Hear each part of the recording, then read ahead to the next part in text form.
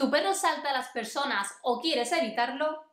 En este vídeo vamos a ver una serie de errores que puedes estar cometiendo y fomentando a que tu perro salte y esté nervioso y vamos a ver dos técnicas para que puedas ponerlas en práctica con tu perro para ayudarle a ser un perro más tranquilo y obediente. Así que quédate, que comenzamos. Muy buenas, querida familia, muchas gracias como siempre por estar aquí un vídeo más junto a mí y si eres nuevo, eres bienvenido. Que tu perro salte a las personas, ya sea a ti mismo o a otras personas, es un problema muy común que ocurre normalmente cuando llegamos a casa, cuando viene visita a casa o estamos por la calle y nos encontramos con algún amigo conocido. A este problema se le debe poner una solución pronto porque podría ser peligroso, sobre todo para ancianos o niños que se le podría crear algún daño, hacerles caer, arañazos, incluso mordidas, que muchas veces cuando los perros están muy nerviosos también tienden a mordisquear, ensuciar, bueno, al final una serie de conductas que no nos gustan porque, bueno, molestan. Este problema además está muy relacionado con la dependencia. El perro que es muy dependiente, que necesita el contacto físico de las personas, es un perro que tiende siempre a subirse a las personas con esa necesidad de contacto físico. Es muy común sobre todo también cuando volvemos a casa y nuestro perro nos salta mucho porque estaba deseando que volviéramos. También existe el perro que salta no tanto por dependencia, sino porque es muy enérgico, muy nervioso y desfoga su energía saltando, eh, mordisqueándonos y al final comportándose de un modo que no deseamos. En este tipo de perros será muy importante el ejercicio que reciba el perro. Cuanto más ejercicio, tu perro estará mucho más cansado y por tanto mucho más tranquilo. Por lo que será ideal enseñar a tu perro a no saltar a las personas o a ti mismo para que sea un perro tranquilo, independiente y seguro. Aparte porque resulta muy molesto. Pero en definitiva, quédate con la idea de que al final que tu perro te salte a ti o a otras personas es una conducta aprendida, es decir, en algún momento quizás sin darnos cuenta hemos fomentado que el perro nos salte y que él obtenga algo que le gusta, por ejemplo una caricia, mimos. Y por tanto el perro aprende a relacionarse con nosotros según qué ambiente o momento de ese modo. Normalmente este aprendizaje ocurre en las etapas primeras del perro cuando es cachorro, porque bueno, es muy bonito, es muy pequeño y juguetón y cuando volvemos a casa, por ejemplo, en ese caso, podemos potenciar que nos salte, porque llegamos y bueno, es precioso y viene y nos salta, es fabuloso que nos salude. ¿Y qué hacemos? Lo cogemos en brazo, lo abrazamos, le damos besitos y al final el perro eh, aprende a que se tiene que relacionar así, porque según su entendimiento, a nosotros nos gusta. Pero claro, ¿qué es lo que ocurre? que al final, cuando es cachorro, no pesa tanto, no nos hace daño, no nos podemos caer. Ahí, por norma, casi que siempre lo hacemos. Pero cuando el perro ya va creciendo, es cuando decimos, vale, ya está, no puedo permitir que mi perro salte.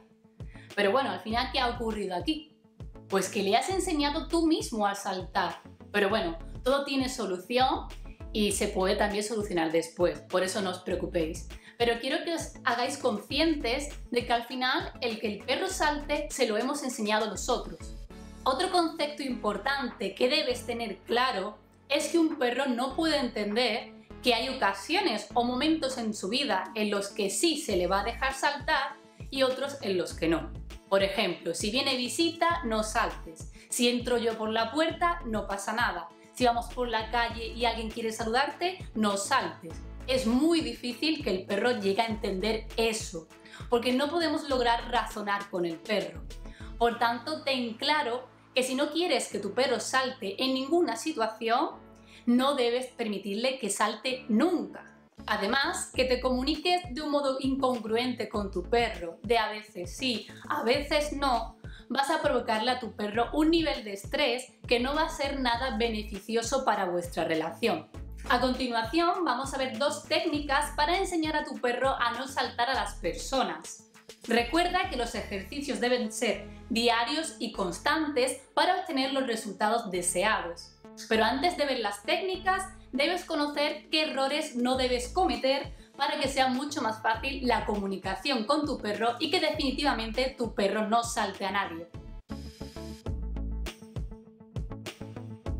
El error número uno muy común es motivar al perro a saltar. ¿Que ¿Cómo motivamos al perro a saltar? Pues es muy simple. Muchas veces, cuando aún incluso estamos al llegar a casa, desde la puerta, desde fuera, ya nos ponemos a excitar al perro, al hacerlo más enérgico, más nervioso, porque nos ponemos a decirle cositas bonitas que al final lo que hacen es un perro nervioso. Ya, ya, ya, ya. No te preocupes, ya estoy aquí, ya estoy aquí. Ya, ya. Igualmente, si cuando entras por la puerta lo primero que haces es decirle, ay mi niño, ay qué bonito eres, qué te he echado de menos, ay, ay, y mueves las manos rápidas y le acaricias muy rápido, ten por cuenta que tu perro, su nivel de actividad va a hacer boom, va a subir muchísimo. Lo mismo ocurre si vas por la calle y te encuentras con alguien, con un amigo que quiere saludar a tu perro. Si ese amigo se pone a decirle ya desde lejos, ¡ay, qué bonito! ¡ay, qué, qué bien!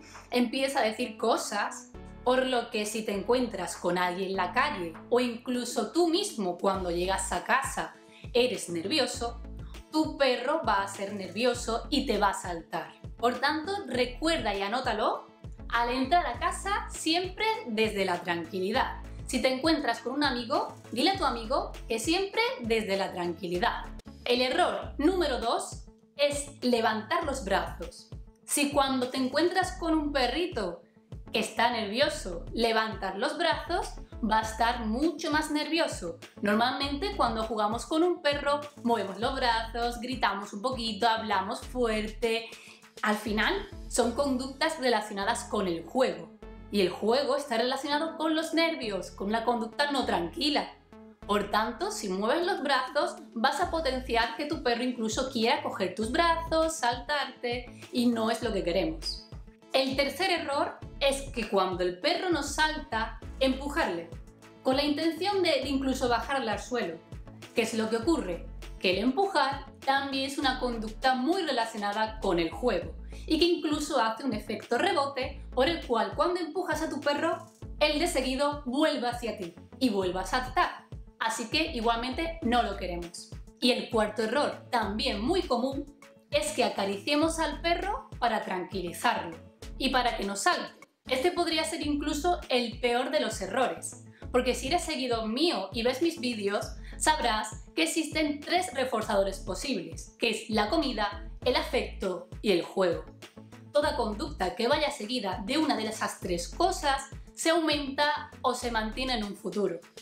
¿Qué ocurre? Que las caricias son afecto y por tanto, si tu perro te salta y tú le acaricias, ten por cuenta que seguirá saltando. Pues tu perro no es que se tranquilice, sino que sabe que saltando, liándola un poquito, obtiene tu cariño y por tanto cuando obtiene el cariño ya deja de hacerlo. Pero el próximo día va a volver a hacer el mismo espectáculo para volver a obtener tu cariño. Una vez que sabes que estos errores que hemos visto anteriormente no los debes cometer, para no fomentar en tu perro ese nerviosismo y que salte a las personas, ahora es momento de que conozcas que hay dos técnicas posibles para poner en la práctica para enseñar a tu perro a no saltar. La primera técnica es la extinción. Esta técnica consta de ignorar al perro siempre y cuando esté nervioso y saltándonos. Y entonces de premiar cuando ya esté tranquilo. Para poner en práctica esta técnica y que no te confundas y lo hagas mal, lo más importante es que te quedes con la idea de que no puedes premiar de absolutamente ningún modo su conducta nerviosa. Lo que hemos dicho antes ni con afecto, ni con comida, ni con juego. Es decir, al final que lo ignores al 100%, no lo toques, no le hables, incluso ni siquiera le mires, que es mejor aún que no le mires, y ya cuando tu perro se porte tranquilamente, si puedes mirarle, darle atención, caricias, pero solo cuando se porte tranquilo y tu perro va a entender perfectamente que si él se porta tranquilo va a obtener cosas muy buenas, que es tu cariño y tu afecto y por tanto el hecho de que consideras que está haciéndolo bien, que eso le encanta a los perros, saber que están haciendo bien las cosas y es lo que hará en un futuro. Al final, ser más tranquilo. Por lo que si ponemos el ejemplo de llegar a casa, cuando estés llegando a casa, no digas nada, no le hables, abre la puerta, entra, el perro es posible que te salte. Aquí en este momento te aconsejo que le digas un no para que él entienda que eso está mal y seguidamente sigue andando, sigue a tus tareas, ignora por completo a tu perro. El perro quizá te salte un poquito más, bueno, tú lo ignoras al 100%. Vas a guardar las llaves, te lavas las manos, lo que necesites, pero mirando de reojillo al perro. Si ves que el perro se tranquiliza, entonces ve para el perro y premiale, con una caricia, con lo que quieras. E importante, un consejo, no te vayas a quedar parado al llegar a, la casa, al abrir la puerta, donde quedes parado enfrente de tu perro, con la intención de esperar que se relaje. Pues que al final si te quedas ahí parado, muy probablemente tu perro pues siga saltándote más, mucho más nervioso. Esta técnica, para que sea eficaz, tienes que repetirla todos los días, siempre que te ocurra ese momento. Con la constancia y la práctica podrás conseguir los resultados deseados. Pero si lo haces a veces sí y a veces no, olvídate de conseguir que tu perro aprenda a no saltar. La otra técnica que también puedes poner en práctica para enseñar a tu perro a no saltar a las personas sería enseñarle una conducta alternativa e incompatible a la conducta de saltar. Por ejemplo, cuando llegas a casa, si tu perro te salta, decirle que se siente o se tumbe. Un perro que está sentado o tumbado es un perro que no puede saltar.